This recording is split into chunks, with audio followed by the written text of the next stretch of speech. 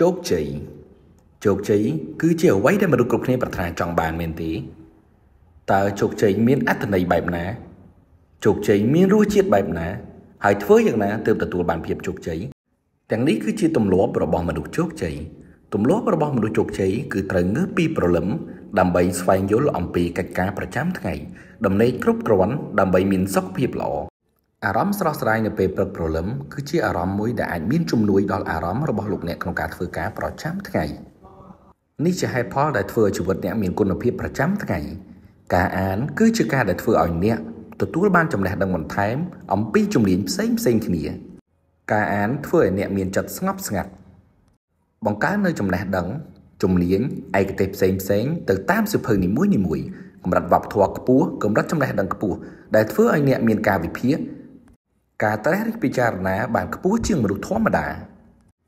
បន្ថែមពីលើការអានការធ្វើផែនការប្រចាំថ្ងៃ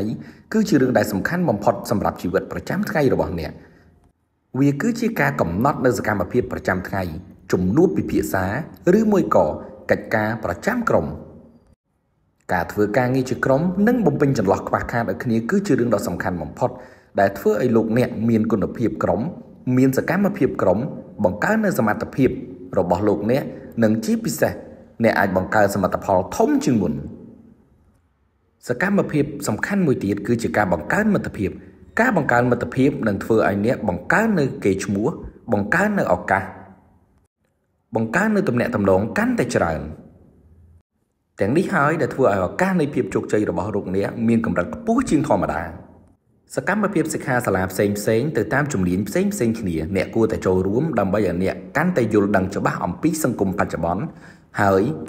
ក៏ទទួលបានចំណេះដឹងឬមួយក៏ជំនាញដែលតាក់ទងជាមួយនឹងការងាររបស់លោកអ្នកតាមទាន់នៅក្នុងសង្គមឬមួយការអភិវឌ្ឍនៅក្នុងសង្គមរបស់មនុស្សទូទៅប្រចាំថ្ងៃសកម្មភាពទាំងអស់នេះនឹងធ្វើឲ្យលោកអ្នកស្គាល់មនុស្សនៅជុំវិញខ្លួនកាន់តែច្បាស់តើមនុស្សបែបណាដែលជាមិត្តដ៏ល្អរបស់លោកអ្នក មនុស្សបែបណាដែលជួយបង្កើននៅចំណេះដឹងបង្កើននៅឱកាសបង្កើននៅប្រាក់ចំណូលរបស់លោកអ្នកតើមនុស្សបែបណានឹងធ្វើឲ្យអ្នកខាតបង់ផលប្រយោជន៍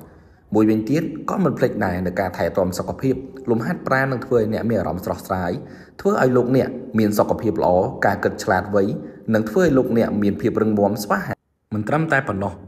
លោកអ្នកមិនគួរមើលរំលងដំណើរកំសាន្តនៅជុំវិញពិភពលោកឡើយប្រសិនបើលោកអ្នកអាចមានលទ្ធភាពទៅតាមអ្វីដែលលោកអ្នកអាចធ្វើបាន បច្ចេកវិទ្យាបច្ចុប្បន្នរីចម្រើនខ្លាំងណាស់លោកអ្នកគួរតែយកចិត្តទុកដាក់អំពីការអភិវឌ្ឍនៅបច្ចេកវិទ្យានៅក្នុងពេលបច្ចុប្បន្នដើម្បីដើរឲ្យទាន់នៅក្នុងសម័យកាល